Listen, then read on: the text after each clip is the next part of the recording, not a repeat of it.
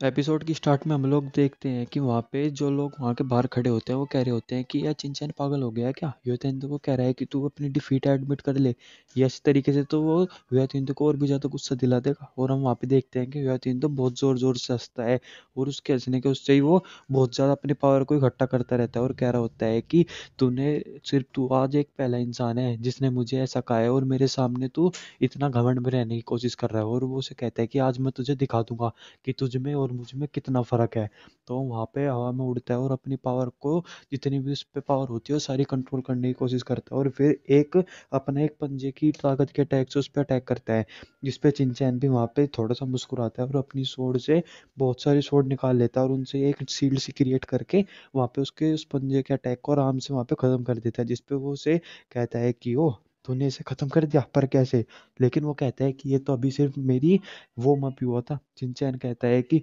मैंने तो सिर्फ़ अपने शरीर का एक हल्का सा हिस्सा ही स्टार्ट किया है। आगे देख क्या होगा जिसपे वो वहाँ पे गुस्से में आ जाता है वैतिंदो और वो बहुत सारे अपनी पावर से अटैक करता है उस पर लगातार जिसपे चिंचैन उसके सारे अटैक को आसानी से अपनी तलवार से काटता चला जा रहा होता है।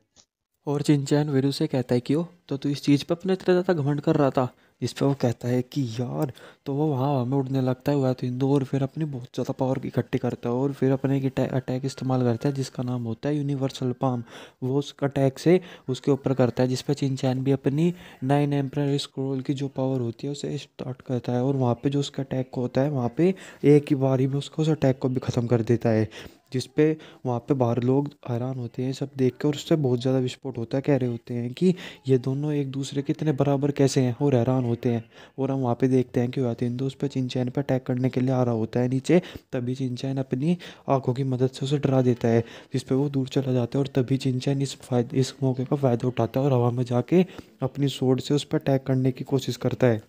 और वो उस पर अपने सोड इंटेंट से उस पर अटैक कर देता है, जिस पे वो अपनी सारी पावर के साथ अपना एक हैंड बना के उसके उस अटैक को रोकने की कोशिश करता है वैतेंदो लेकिन उसका अटैक बहुत ज़्यादा पावरफुल होता है और बाहर वहाँ पे लोग देख रहे होते हैं कि यार ये चिंचैन की वजह से और सभी लोग वहाँ पे उसका तो मैच देख रहे होते हैं जिसपे उसे उसके अटैक को रोकने में बहुत ज़्यादा तकलीफ़ हो रही होती है वैतिंदु को और वो बहुत ज़्यादा मेहनत कर रहा है उसके उस अटैक को रोकने की। और हम देखते हैं कि तभी जो उसकी पावर होती है उससे वो थोड़ा थोड़ा जलने लग जाता है। वो कहता है कि मैं और भी ज़्यादा देरी से नहीं रोक पाऊँगा। और हम देखते हैं कि धीरे धीरे उसका शरीर भी वहाँ पे जलने लगता है जिस पे चिंचैन कहता है कि, देखा, तुम लोग सिर्फ़ बोलते बोलते हो। और फिर अपनी पावर को और एक अलग तरीके का मोड इस्तेमाल करता है जिस पे जो उसका सोड इंटेंट होता है, वो और पावरफुल हो जाता है और वो उसे एक ड्रिल मशीन की तरह इस्तेमाल करता है, जिससे वो उसके उस हैंड को ख़त्म कर देता है बिल्कुल ही। और फिर हम तभी देखते हैं कि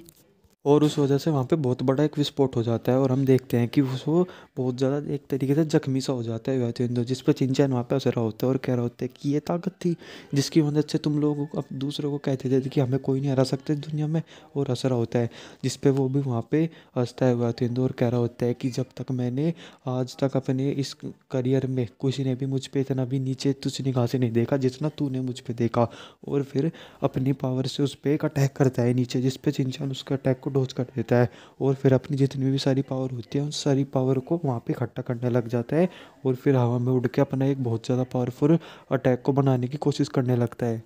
जिसकी मदद से बाहर हम देखते हैं कि फिर वहाँ सभी लोग देख के हैरान होते हैं और ची कंट्री वाले लोग वहाँ पे जो फोर्स प्रिंस हो रहे होते हैं, वो कह रहे होते हैं कि एनसेस्ट्रल डिग्री और वो कहते हैं तो इसका मतलब ये वूजोंग रेल पे है तो वहाँ पे लॉर्ड लियांग कहते हैं कि नहीं, ये अभी हाफ़ स्टेप वूजोंग है और सिर्फ़ एक ही स्टेप ही दूर है वहाँ से। और तभी हम देखते हैं कि जो वही डायनेस्टी के लोग होते हैं, यानी कि ल्यूवन जो वो होता है सेक्ट वहाँ के लोग हंस रहे होते हैं और वो खुश हो रहे होते हैं कि हमें यातिन तो भरोसा था और वो इतनी मेहनत करके यहाँ तक आया था और उसने इतनी मेहनत की अपनी। वो कभी ख़राब नहीं होगा, वो सिर्फ़ अभी हाफ़ वूजोंग है। और वहाँ पे दूसरा कहता है कि सिर्फ़ आधे महीने के अंदर अंदर वो वहाँ पे वूजोंग रेल में पहुँच जाएगा। और वो कहते हैं कि ये इसकी हिट रेट है चिंचैन के खिलाफ जिसकी मदद से वो अभी भी ब्रेक थ्रू कर सकता है और खुश होते हैं कि अब उन्हें पता लगेगा कि हमारी और उनकी पावर में क्या डिफरेंस है और खुश होते हैं, जिस पे हम वहाँ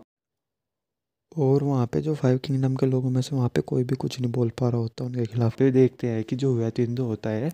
वो चिंचैन को कहता है कि चिंचैन तू सोचता था कि तू ही सबसे ज़्यादा पावरफुल है, तुझे कोई हरा नहीं सकता। और वो उसे कहता है कि, अब देख तू इस लोड के सामने कैसे हराएगा मैं तुझे। और वो वहाँ पे अपनी पावर को इस्तेमाल करने लगता है और कहता है कि, तुम लोग हमारे सेक्ट के सामने सिर्फ़ एक कीड़े मकोड़े के बराबर हो और कभी भी हमसे मुकाबला करने की कोशिश भी मत करना। और उस पर अपनी एक पावर से अटैक करता है, जहाँ पर वो ड्रैगन बन के जाता है जिसपे चिंचैन उसके उस अटैक से बच जाता है। तो उसे कहता है चिंचैन को ओ तो तू अब पूरे अटैक से बचने की कोशिश कर रहा है? और कहता है कि तू अब कहीं नहीं बच सकता और उस पर फिर अटैक करता है चिंचैन के ऊपर।